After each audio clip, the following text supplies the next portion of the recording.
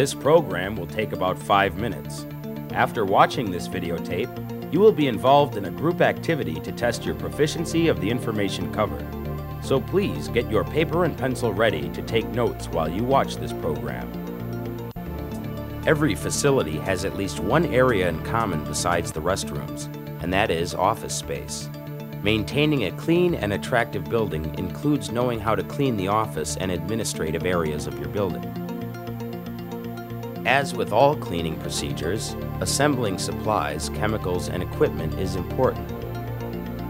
Materials needed include barrel cart, dust wand, dust cloths, cleaning towels, plastic trash can liners, vacuum, dust mop, broom, dust pan, putty knife, and trigger sprayer of water.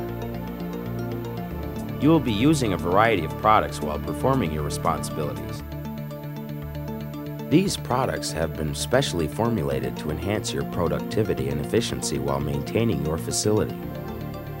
Chemicals needed to clean office space include glass cleaner, disinfectant cleaner, all-purpose cleaner, and carpet spotter, all packaged in trigger spray bottles. A furniture polish, gum remover, and stainless steel polish are also needed. Always remember that material safety data sheets, also known as MSDSs, are available for all products you will use during your cleaning procedure. Check with your supervisor to find out where they are located.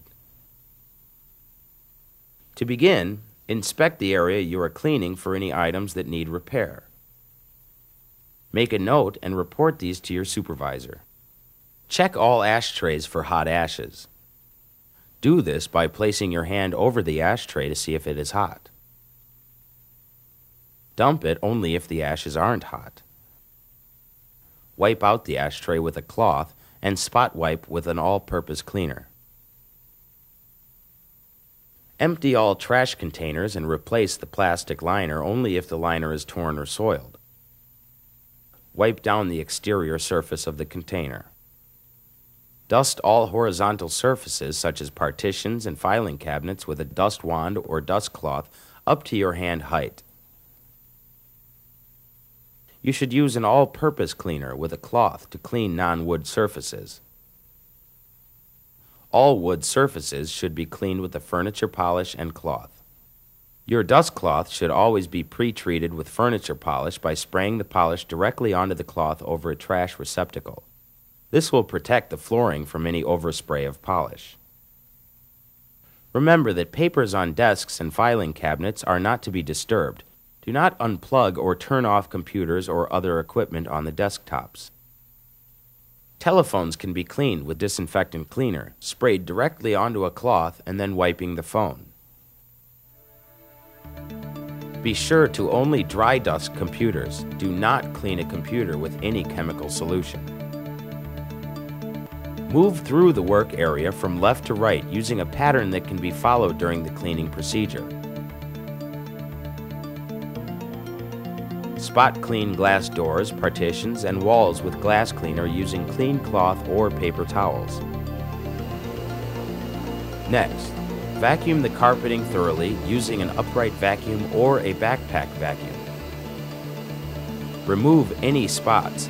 Make sure you are trained to remove spots from carpeting. If not, notify your supervisor about the spots. Then, dust mop hard surfaces using a dust mop.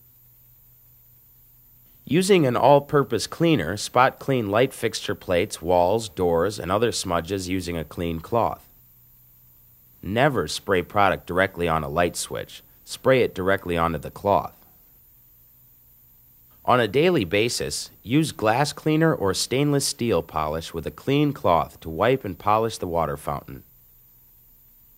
If hard water residue builds up, see your supervisor for direction. To complete the cleaning of the office area, place wet floor signs where traffic would enter and exit the area. Mop the floor with neutral cleaner properly diluted per the labeled directions.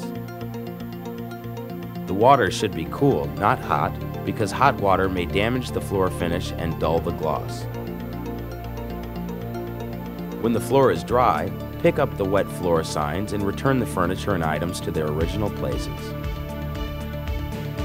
Turn off all the lights and secure the doors when ready to leave. Then return your maid cart to the supply closet and clean and organize your supplies before using them again. Remember, the job you do cleaning the building properly and professionally reflects on the people who use it the students, faculty, and public, and the appearance overall reflects on you.